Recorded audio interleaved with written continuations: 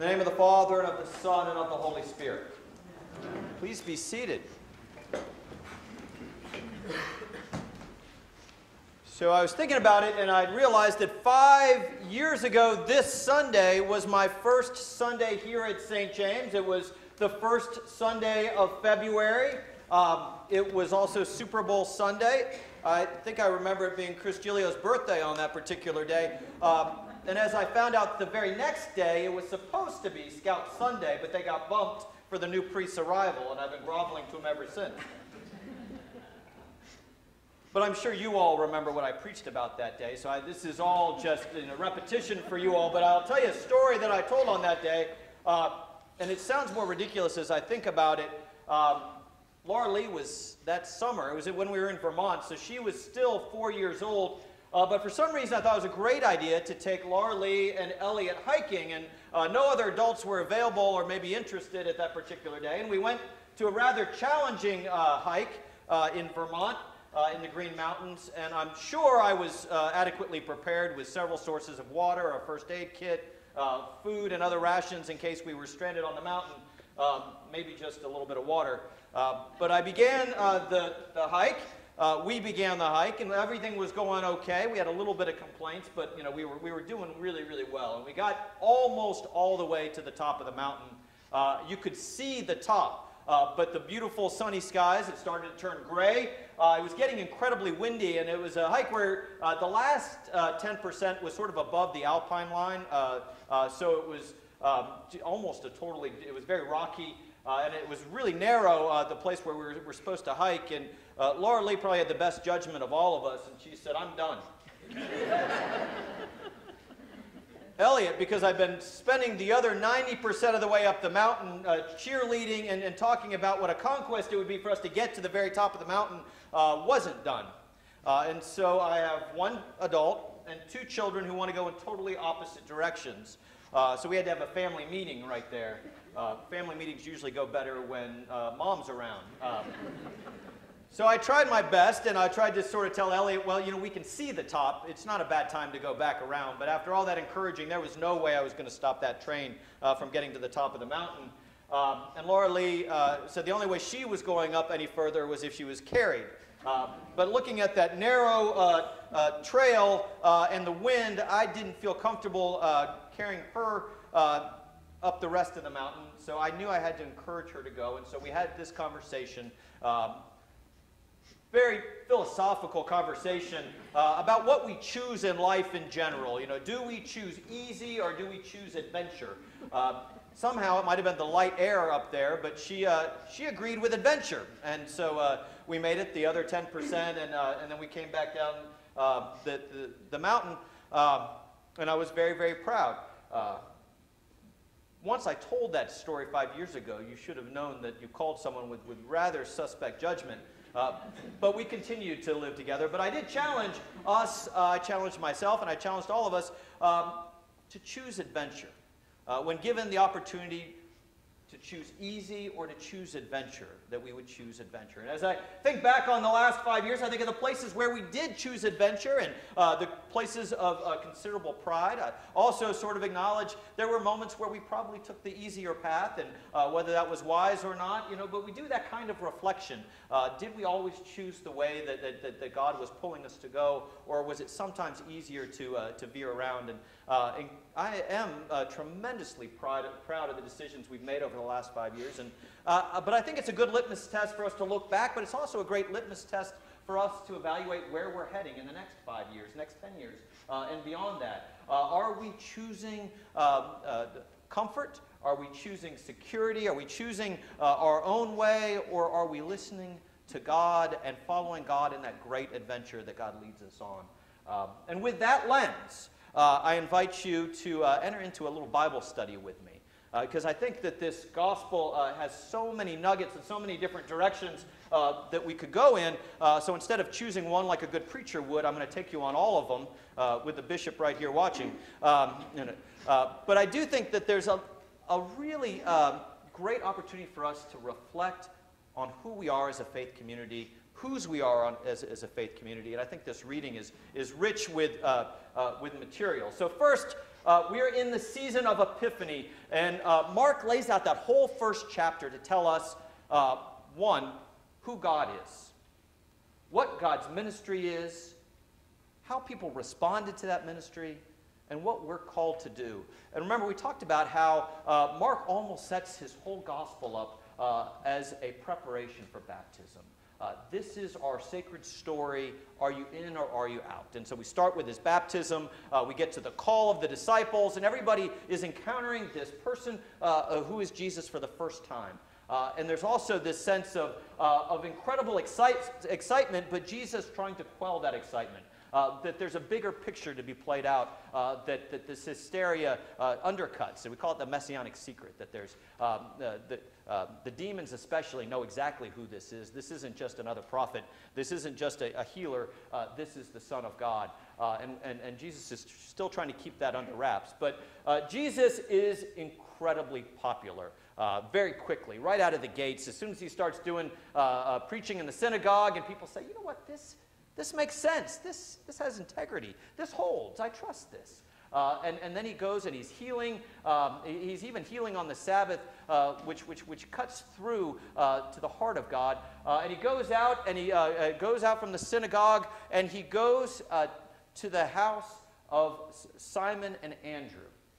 And the next line gives us a clue about who the disciples are. I don't know about you, but I sort of pictured the disciples as sort of, you know, whether it's 18 year olds deciding to enlist or uh, uh, college grads deciding to go uh, in the AmeriCorps or Peace Corps for a few years before going on to grad school, uh, that it were people uh, that were unattached.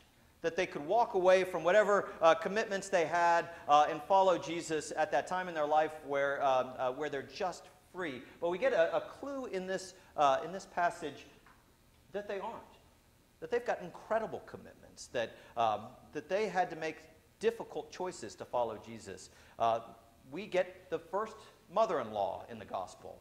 Uh, uh, Simon's uh, mother in law was, uh, was sick in bed, uh, and so we start to realize okay, if you have a mother in law, you probably have a spouse. That's how that happens. Um, and if you have a spouse, maybe you have children. And maybe your decision to follow Jesus came at an incredible cost. Uh, I've told you before that uh, uh, about the uh, Saturday Night Live uh, commercials they used to have. There were the Deep Thoughts by John Handey. Do you remember those? But one of them uh, suggested that it was always a great idea to carry around two bags. and someone inquired, why is it a good idea to carry around two bags? And they said, well, because that way, if anybody asked you to lend a hand, you would say, absolutely, I would love to, but I have these two bags. you know, and sometimes we fill our hands with anything that we can to keep us uh, from making those kind of decisions to drop everything and follow. Uh, and uh, our family, as much as uh, it is one of the greatest missions of our lives, it's one of those things that sometimes we hold in our hands so that we can say no um, and still feel good and puff out our chest. Uh, but realize that there was an incredible cost. So, as we think about what kind of adventure God leads us on, realize what kind of adventure those first yeses uh, came with, uh, what kind of cost those first yeses came with. So, we're inside uh, Simon and Andrew's house, um, and this is sort of what seems incredibly insensitive the way that this all plays out, uh, except for the Jesus part. but so they go up and Simon's mother in law is sick in bed. Uh, so Jesus goes there, and uh, it's so tender the way, uh, the way he heals. It involves human touch. Uh, and it's, I think, what, what, what, God does for each of us, if only we could feel it as palpably, takes her hand and lifts her up and takes her up um, and, and cures her of her fever. And then she starts serving them, you know, which sort of seems abrupt. but think about what we do here. Think about the whole way uh, that this service uh, builds up to that climactic moment where we receive Christ's grace, uh, Christ's miracle done on our behalf, uh, where we uh, uh, receive Christ's healing poured out in his body and his blood, and then we're immediately sent out to serve. It's the same trajectory of, of the mother in law whose hand Jesus takes, who lifts, who is lifted up, and then begins to serve what we're called to do as Christians and as the body of Christ. We're called to realize the, the healing salve uh, of, of, of Christ's body and Christ's blood, the miracle done on our behalf, and we're called to go out and serve, full of gratitude uh, and a sense of service and duty. All right, so, so we have that. So Jesus has healed uh, uh, uh Simon's mother in law, uh, and uh, the, the word around town is spreading, and people are gathered. The entire town is gathered right outside uh, the doors, and he walks out and he heals. and, um, and sometimes we do struggle with that. Jesus' miracles. Uh, there's an, an, arbitrary sense to it that uh, if you were alive at a particular time in a particular place uh, in history, uh, and, uh, uh, then, then, then Jesus takes you by the hand and heals you. well, we have loved ones that, that seem to go um, that, that seem to go unhealed.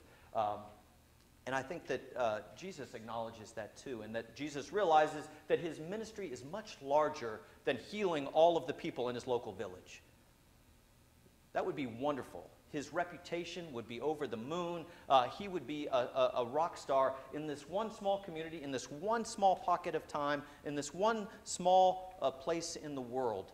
Uh, but Jesus came for something much larger than that. And, uh, but there's something tantalizing about that. Uh, and Jesus realizes as he's healing, uh, as he's being affirmed, uh, as, as, there's joy and excitement in the work that he's doing, uh, that it's seductive.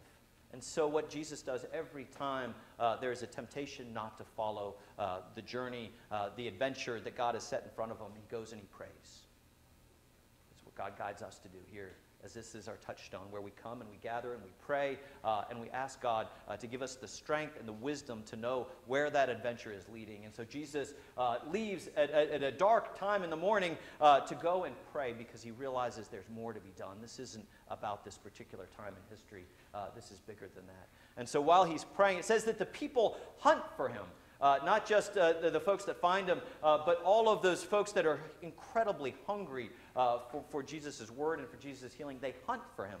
Uh, and when they find him, um, I think they're a little taken back. They love what's going on. Uh, they're, the, they're, the, they're the, the, the, by association, the heroes in their own town. this following Jesus is, is pretty good stuff. you know, everybody loves us. we're, we're the right hand man men of, of, of Jesus, and he's curing all the people in our community. But Jesus says it's bigger than that. And it's going to take some cost. And the adventure is going to take us uh, places that we're not prepared to go yet. And so, uh, in the dark of night, um, and they leave people unhealed uh, because uh, it's about more than the physical healing. And they begin their journey, and they go and they start preaching and teaching uh, and, and carrying that word out into the world. Um, and so, as we peel those layers of this story, I encourage us, as we think about the, the, the, trajectory that God has cast for us, uh, where are we choosing adventure? Where are we choosing the difficult path that God might have for us uh, that's met with incredible joy and richness, uh, but does start with cost? And where are we choosing easy, or convenience, or security? Where do we like to stay closer to home because uh, it feels safe? And where are we using that pattern that Jesus set for us? That we come to this table, we break bread, uh, we receive God's grace and God's healing, and then we uh, go out into the world and we share that. Where are we praying for guidance? That when it does seem a little bit too convenient, a little too easy, uh, that God might challenge us, that God might invite us uh, to sail that ship a little farther out to sea uh, so that we might see new, broader horizons. Where is it that we gather together as the body uh, and we hunt for Jesus. We ask, where is Jesus to be found in our community beyond these doors? Where is Jesus hungry or hurting or in need?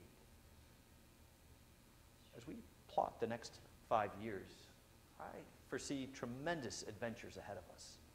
But they won't always be easy. And they do require us to take a deep breath put our hands together and bend our hearts towards the difficult but rich work of hunting for Jesus. Amen.